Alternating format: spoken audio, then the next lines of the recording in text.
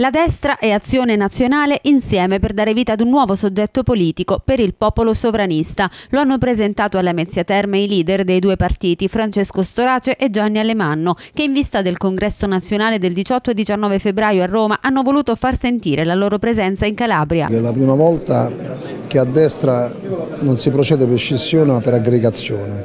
Ci sono due soggetti politici che si mettono insieme L'obiettivo finale è quello di dar vita a una grande aggregazione sovranista che consenta agli italiani di prendersi le chiavi di casa. E lo dico soprattutto in terre come questa dove c'è bisogno di una classe dirigente coraggiosa, combattente, che voglia evitare questo stato di abbandono e di rassegnazione che sembra aver preso l'Italia e il Mezzogiorno. Qua tutti si separano, ci sono scissioni, divisioni, noi invece siamo due partiti che si uniscono, che trovano un intento comune per costruire la casa comune di tutti coloro che sono a destra e per costruire quello che noi chiamiamo il polo sovranista, cioè il polo delle persone che credono alla sovranità popolare e nazionale. Pensiamo che la destra deve essere unita. Noi in Calabria vogliamo far parlare la gente, noi puntiamo sulle primarie, quindi non andiamo con nomi preconfezionati, vogliamo che sia la gente con le primarie a scegliere i propri candidati a tutti i livelli e anche dal punto di vista del leader del nostro partito in Calabria sarà scelto dopo il congresso 18-19 con una grande consultazione popolare. Rossella Galati per la CNews 24.